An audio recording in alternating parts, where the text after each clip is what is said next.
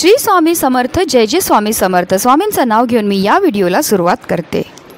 दरवर्षी श्रावण महिन्यात पुत्रदा एकादशीचा उपवास हा केला जातो. पंचांगानुसार श्रावण महिन्यातील शुक्ल पक्षातील एकादशी तिथीला पुत्रदा एकादशीचे व्रत हे केलं जातं.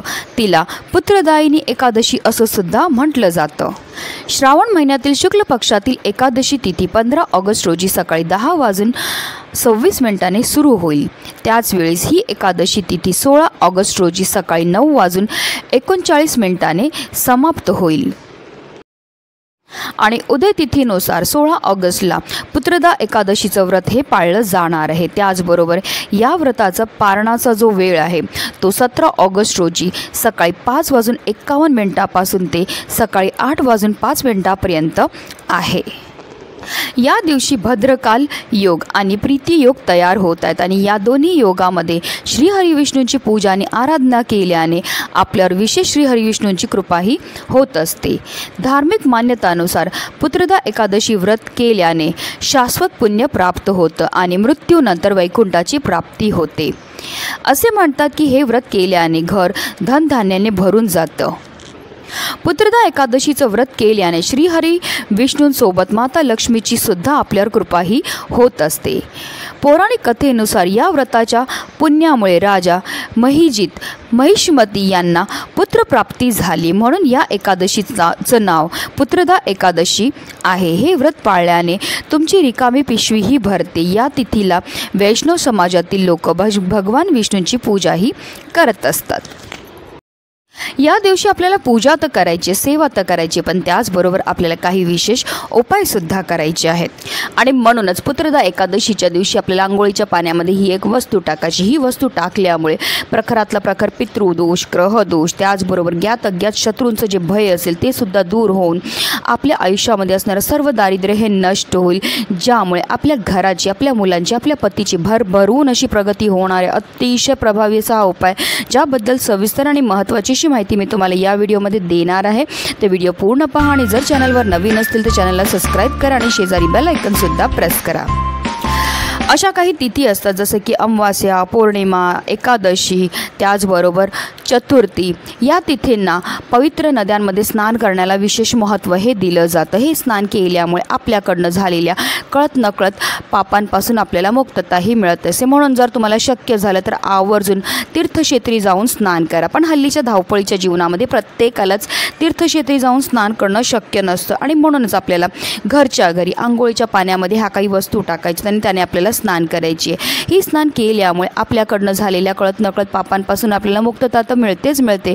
पण त्याचबरोबर आपल्यावर अखंड श्री हरिविष्णू आणि माता लक्ष्मीची कृपाही होत असते. आता हा उपाय आपल्याला का करायचा तर पहा आपल्यामध्ये जर भरपूर प्रमाणामध्ये नकारात्मकता असेल की आपल्याला की आपल्याला घरातल्या सदस्यांना नजर लागलेली असेल किंवा आपल्या कुंडलीमध्ये पितृदोष असेल ग्रह दोष असतील तर त्यामुळे सुद्धा आपल्या जीवनामध्ये अनेक प्रकारच्या समस्या हा निर्माण होतात. आता समस्या म्हणजे काय?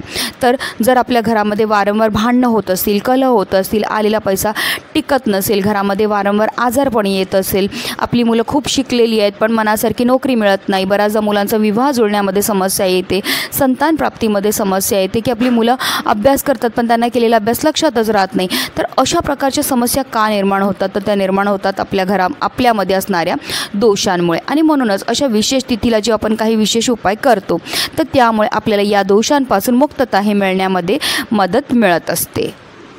आणि म्हणूनच आपल्याला पुत्रदा एकादशीच्या दिवशी ब्रह्ममुहूर्तावर उठायचं. ब्रह्ममुहूर्तावर उठल्यावर अंथरुणामध्येच आपल्याला श्री हरिविष्णूंचं स्मरण करायचं. ओम नमो भगवते वासुदेवाय नम. या मंत्राचा जप करून दिवसाची सुरुवात ही करायची आहे. आणि आंघोळीला पाणी काढायचं. आणि आंघोळीच्या पाण्यामध्ये सर्वात पहिली वस्तू जी आपल्याला टाकायची ते म्हणजे गंगाजल. गंगाजल टाकून आपण स्नान केलं तर आपल्याला तीर्थक्षेत्री स्नान केल्याचं पुण्य प्राप्त होतं. त्याचबरोबर आपल्याकडनं झालेल्या कळत नकळत पापांपासून सुद्धा आपल्याला मुक्तताही मिळत असते. त्याचबरोबर आपले जे ग्रहदशा चांगली नसेल पितृदोष आहे त्या तो दूर होण्यामध्ये सुद्धा मदतही मिळत असते. दुसरी वस्तू जी आपल्याला आंघोळीच्या पाण्यामध्ये टाकायचे ते म्हणजे काळे तिळ. तिळांची उत्पत्ती ही श्री हरिविष्णूंच्या घामापासून झाली होती आणि एकादशी तिथी ही श्री हरिविष्णूंना समर्पित आहे. आणि जर आपण आंघोळीच्या पाण्यामध्ये काळे तिळ टाकले तर त्यामुळे ज्ञात अज्ञात शत्रूंचं जे भय आहे त्यांच्यापासून आपल्या जीवनामध्ये होणारे जे दोष निर्माण होतात ते दूर होण्यामध्ये मदत मिळते. त्याचबरोबर कुंडलीमध्ये असणाऱ्या प्रखरातला प्रखर पितृदोष ग्रहदोष दूर होण्यामध्ये मदतही मिळत असते. तिसरी वस्तू जी आपल्याला आंघोळीच्या पाण्यामध्ये टाकायचे ते म्हणजे चिमुडभर हळद. हळद टाकून स्नान केल्यामुळे आपला गुरुग्रह हा मजबूत होतो ज्यामुळे आपल्या आयुष्यामध्ये असणारी आर्थिक समस्यांपासून आपल्याला मुक्तताही मिळत असते. आणि हळद ही श्रीहरी विष्णूंना अतिशय प्रिय आहे. त्याचबरोबर आपल्याला अगदी चिमुडवर खडेमीठसुद्धा आपल्या आंघोळीच्या पाण्यामध्ये टाकायचं आहे. खडेमीठ टाकून स्नान केल्यामुळे आपल्यामध्ये असणारी जेवढी पण नकारात्मकता आहे ती दूर होण्यामध्ये मदतही मिळत असते. त्याचबरोबर आपल्याला एक तुळशीचं पत्रसुद्धा आंघोळीच्या पाण्यामध्ये टाकायचं आहे तुळस ही साक्षात माता लक्ष्मीचं स्वरूप आहे. आणि जर आपण तुळशीचं पत्र आंघोळीच्या पाण्यामध्ये टाकलं आणि स्नान केली तर त्यामुळे आपल्यामध्ये असणारी जेवढी पण नकारात्मकता आहे इडा पिडा वाईट शक्तींचा प्रभाव आहे दारिद्र्य हे ते दूर होण्यामध्ये मदतही मिळत असते. त्याचबरोबर आपल्यावर अखंड लक्ष्मीची कृपाही होत असते. तर या सर्व वस्तू आपल्याला आंघोळीच्या पाण्यामध्ये टाकायच्यात पण जो तुळशीचं पत्र आहे ते तुम्हाला आजच तोडून ठेवायचं आहे कारण एकादशीच्या दिवशी आपण तुळशीला स्पर्श कर करत नाही किंवा तुळशीची पत्रसुद्धा तोडत नाही. तर या सर्व वस्तू आपल्याला आंघोळीच्या पाण्यामध्ये टाकायची आणि त्याने आपल्याला स्नानही करायचे. पण बऱ्याचदा लोक चुकीच्या पद्धतीने स्नान करतात. त्यामुळे सुद्धा केलेल्या उपायाचं त्यांना कोणतंही शुभफळ प्राप्त होत नाही. तर आपल्याला काय करायचं सर्वप्रथम एक मग पाणी आपल्या उजव्या खांद्यावर टाकायचं आहे एक मग पाणी आपल्या डाव्या खांद्यावर टाकायचं आहे त्यानंतर आपल्याला संपूर्ण स्नानही करायची आहे. स्नान करताना आपल्याला निरंतर ओम नमो भगवते वासुदेवाय नम या मंत्राचा जप हा करायचा आहे जेव्हा आपण आंघोळीच्या पाण्यामध्ये ह्या सर्व वस्तू टाकतो त्याचबरोबर मंत्राचा जप करतो. त्या त्यामुळे आपल्या तणाबरोबर आपल्या मनाची सुद्धा शुद्धीही होत असते. आणि पवित्र तणाने आणि पवित्र मनाने केलेल्या प्रत्येक कार्यामध्ये आपल्याला शंभर टक्के यश हे प्राप्त होत असतं. आंघोळ झाल्यानंतर आपल्याला स्वच्छ वस्त्र हे परिधान करायचे. जर तुम्हाला शक्य झालं तर पिवळे किंवा लाल रंगाचे वस्त्र परिधान करा आणि सर्वप्रथम देवघरामध्ये दिवा प्रज्वलित करून श्रीहरी विष्णू आणि माता लक्ष्मीची विधिवत तुम्हाला पूजाही करून घ्यायची. अशा रीतीने आपल्याला हा उपाय जो आहे तो करायचा आहे नक्की करा आणि व्हिडिओ जास्तीत जास्त लोकांपर्यंत शेअर करा. जेणेकरून प्रत्येकाच्या आयुष्याचं कल्याण हो. हीच मनामध्ये इच्छा. श्री स्वामी समर्थ. जय जय स्वामी समर्थ.